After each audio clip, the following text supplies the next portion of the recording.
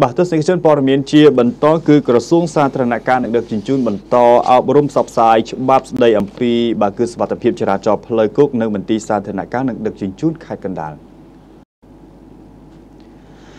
ឯកឧត្តមជ័យបើគឺឯកឧត្តមបើគឺនេចារីអភិបាលរងខេត្តកណ្ដាលបើគឺបានធ្វើការអំពាវនាវដល់អ្នកបើកបរយានយន្តគ្រប់ប្រភេទសូមចូលរួមអនុវត្តឲ្យបានខ្ជាប់ខ្ជួននៅវិធានការនានាដែលបានចែងនៅក្នុងច្បាប់បើគឺស្ដីអំពីចរាចរណ៍ផ្លូវគោក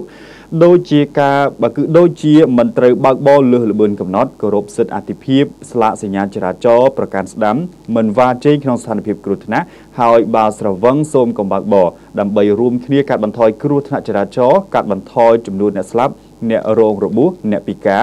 និងការខូចខាតនានាដែលបង្កឡើងដោយសារតែគ្រោះថ្នាក់ចរាចរណ៍ ការអំពាវនាវធ្វើឡើងបើគឺបែបនេះគឺបានធ្វើឡើងនៅក្នុងពិធីផ្សព្វផ្សាយអប់រំស្ដីអំពីច្បាប់ពី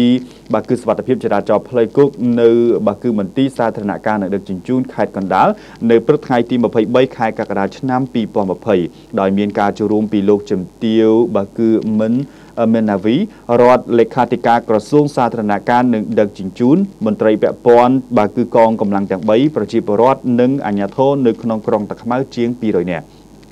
ឯកឧត្តមបានបន្តថាសវត្ថភាពចរាចរណ៍គឺជាផ្នែកមួយយ៉ាងសំខាន់នៃសុខភាពសាធារណៈជាមុខងារចម្បងដែលទាមទារឲ្យមានការដោះស្រាយជាបន្ទាន់ខណៈដែលមនុស្សបើគឺគណៈដែលចំនួនមនុស្សស្លាប់ដោយសារគ្រោះថ្នាក់ចរាចរណ៍នៅតែមានចំនួនខ្ពស់និងកើនឡើងយ៉ាងខ្លាំងជាបញ្ហាចាំបាច់បើគឺចំពោះមុខដែលត្រូវតែរួមគ្នាដើម្បីដោះស្រាយពីព្រោះថាបញ្ហានេះមិនមែនជាកាតព្វកិច្ចផ្ដាច់មុខរបស់នរណាម្នាក់នោះឡើយ ថ្លែងនៅក្នុងឱកាសនោះផងដែរលោកជំទាវមិនបើគឺបើគឺលោកជំទាវមិនបើគឺមេណាវី រដ្ឋលេខាធិការក្រសួងសាធារណការបានគូបញ្ជាក់ថាគោលបំណងនៃការរៀបចំយុទ្ធនាការផ្សព្វផ្សាយបើគឺអប់រំនេះគឺដើម្បីជាការពញ្ញាក់ស្មារតីដល់អ្នកប្រើប្រាស់ផ្លូវទាំងអស់ជាពិសេសគឺអ្នកប្រើប្រាស់បើគឺទោចក្រយានយន្តឲ្យមានការយកចិត្តទុកដាក់និងចូលរួមគោរពច្បាប់ស្តីអំពីចរាចរណ៍ផ្លូវគោកសម្ដៅចូលរួមទប់ស្កាត់និងកាត់បន្ថយគ្រោះថ្នាក់ចរាចរណ៍ផ្លូវគោកនៅបើគឺឲ្យនៅកម្រិតទាបបំផុត។ លោកជំទាវបានបញ្ជាក់បន្តថាឆ្នាំ2020នេះគឺរាជរដ្ឋាភិបាលបានកំណត់យកជាជាឆ្នាំបាទគឺកំណត់យកជាឆ្នាំនៃការរឹតបន្តឹងការអនុវត្តច្បាប់ស្តីអំពីចរាចរណ៍ផ្លូវគោកដើម្បីជាការទប់ស្កាត់និងកាត់បន្ថយឲ្យបានអត់បើគឺអបបរមានៃកំណើនបើគឺគ្រោះថ្នាក់ចរាចរណ៍កំណើនអ្នកស្លាប់បើគឺនឹងរបួសដោយគ្រោះថ្នាក់ចរាចរណ៍ដ៏គឺផ្លូវគោក ដោយបានចាប់បើគឺអនុវត្តរឹតបន្តឹងការអនុវត្តច្បាប់ស្តីអំពីចរាចរណ៍ផ្លូវគោកចាប់តាំងពីថ្ងៃទី1ខែឧសភាឆ្នាំ2020តទៅដូច្នេះយើងទាំងអស់គ្នាត្រូវតែរួមគ្នាអនុវត្តច្បាប់ចរាចរណ៍នេះឲ្យមានប្រសិទ្ធភាពដើម្បីជៀសផុតពីការផាកពិន័យធ្ងន់ធ្ងរ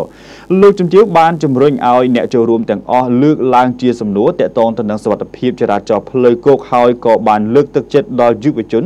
ឲ្យបើគឺរៀនអំពីវិធីប្រើប្រាស់បើគឺកម្មវិធីអប់រំច្បាប់ស្តីអំពីចរាចរណ៍ផ្លូវគោក Cambodia Driving Rules ជាកម្មវិធីមួយដែលងាយស្រួលសម្រាប់បងប្អូនប្រជាពលរដ្ឋអាចធ្វើការរៀនសូត្រអំពីច្បាប់ស្តីអំពីចរាចរណ៍ផ្លូវគោកនិងអាចប្រឡងសាកល្បងសមត្ថភាពរបស់ខ្លួនបានផងដែរពីព្រោះកម្មវិធីនេះជាកម្មវិធីអេឡិចត្រូនិកដែលអាចទាញយកបានពីបើគឺ App Store និង Play Store ដែលអាចដំណើរការលើទូរស័ព្ទដៃ smartphone ទាំងប្រព័ន្ធ Android ក៏ដូចជាប្រព័ន្ធ iOS នៅក្នុងកម្មវិធីនេះក៏មានការចែកជូនមួកសុវត្ថិភាពសិភៅច្បាប់ស្តីអំពីចរាចរណ៍ផ្លូវគោកសិភៅអ្វីបើគឺដែលអ្នកបើកបរទោចក្រយានយន្តត្រូវបើគឺយល់ដឹងបានជំនួយស្មារតីស្តីអំពីចរាចរណ៍បើគឺស្តីអំពីសុវត្ថិភាពចរាចរណ៍ដល់អ្នកចូលរួមផងដែរ លោកមឹងយូលេងប្រធានមន្ទីរសាធារណការនៅដឹកជញ្ជូនខេត្តកណ្ដាលបានឲ្យដឹងថាគិតត្រឹមពេលនេះមន្ទីរបានចោះបើគឺបញ្ជីយានយន្តទេសចរគឺបានចំនួន514គ្រឿងរថយន្តដឹកទំនិញធុនតូចគឺមានចំនួន260គ្រឿងរថយន្តដឹកទំនិញធុនធំមានចំនួន378គ្រឿងរថយន្តដឹកអ្នកដំណើរធុនតូចមានចំនួន71គ្រឿងរថយន្តបើគឺដឹកធ្វើដឹកអ្នកធ្វើដំណើរធុនធំ មានចំនួន4គ្រឿង តូចក្រយានយន្តមានចំនួន2390គ្រឿងត្រីចក្រយានយន្តមានចំនួន339គ្រឿងមានបានបើគឺបានផ្ដល់បានយានយន្តប្រភេទកគឺចំនួន1122បានបានប្រភេទខគឺមានចំនួន7655បាន